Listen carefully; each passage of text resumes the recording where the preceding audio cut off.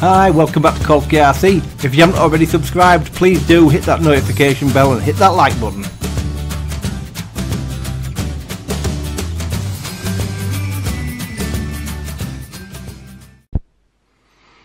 Hi, welcome back to Colski RC. Quick video, well, I don't know how quick it's going to be, but a quickish video today. So, I've got a lot of questions asked on this, and the main one I've been getting is which one would you rather have? Which one's the better out of these two? That's a really difficult question to answer. So, I thought I'd do a quick video to get my opinion across, and it is my opinion. If you but let's there's two ways of looking at this. If you already own a, drone and you're looking to buy this as your second drone or the one you just want to leave in the car, maybe you'll stick it in your pocket when you go out, yeah, fine. If you're looking at buying it for your first drone, let's have a look at it that way. So you you own neither, and this is your one and only drone.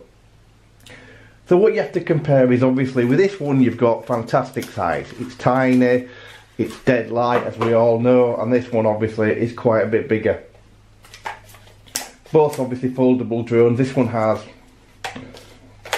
If I fold it out, look at the difference is huge. So the massively difference in size. It's massive.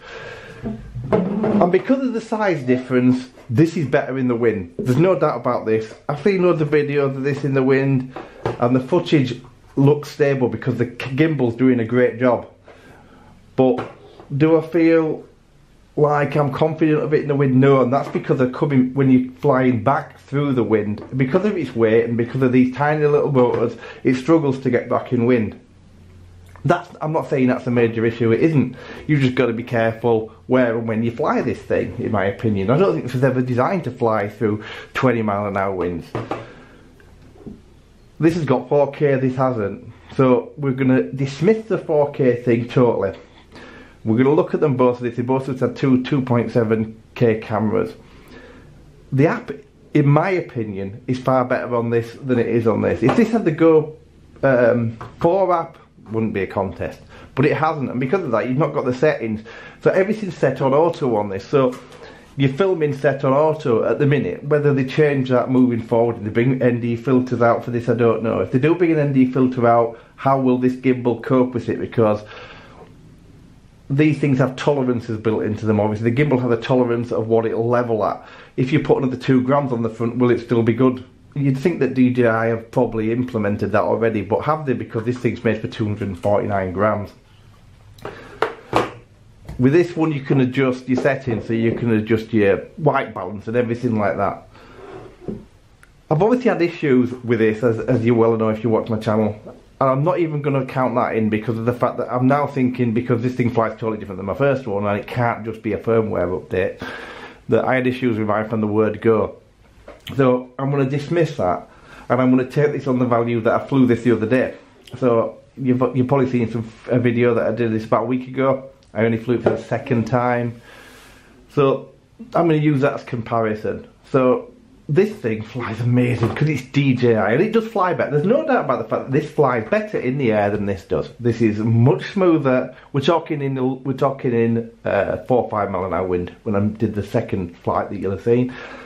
This thing flies better. It flies like a DJI. It flies like a Mavic, and this one doesn't, of course. And but it flies a lot better than it ever did. I told you this wasn't easy to answer. I can't just come out and say to you, yeah, buy this or this because they're totally different to me. The price point's the same and that's the important thing. I'm going to show you some video footage at the end of this and unfortunately I can't fly in the, the UK has been horrendous for about a month now so the video footage I'm going to show you is the video footage I took from this the other day and some I did from this a couple of weeks ago in a similar kind of weather but in a different area. So it's going to be very difficult to pair The only thing you can look at in these videos is the clarity of image at 2.7k because I'm going to use 2.7k footage I recorded of this and this. I'll upload the video in 2.7k so you can see the differences. And there isn't that much, in my opinion. I own both and I'll keep both, but I know a lot of you out there just buying this as your first drone. So if you're buying it as your first drone, it's a very difficult one to answer. I think this is great. I think I had issues with mine at first. There's a few things I don't like about it. Um, but overall, it's decent for the money. You, you can pick it up all day long for the same price as this. Um, battery's expensive for this. I will tell you that because it's got smart batteries and of course this one runs on lithium ions that have a kind of smart feature but not fully smart if you know what I mean. So you've got to take that into account. You've got to take into account the amount the cost of accessories for both of these. If you want two batteries it's going to cost you more. Flight time very very similar. Range is in my opinion better on this. I was absolutely stunned at the range on this thing through the ex, ex well whatever they call it, extended Wi-Fi do they call it? I think it's brilliant. I think that's one of the best things about this. Build quality, this kills it. I don't think this is got this thing looks great. Don't get me wrong. The look and fit and finish of this is fantastic. I just don't like the cheap, flimsy plastic it's made from. This thing's quite a solid lump. Um, hopefully, I won't find out by crashing it, but it's a solid lump. These are my sensors. They've both got the same similar thing underneath. Both got ultrasonics and sonic sensors. And in the air in stable hover this thing better.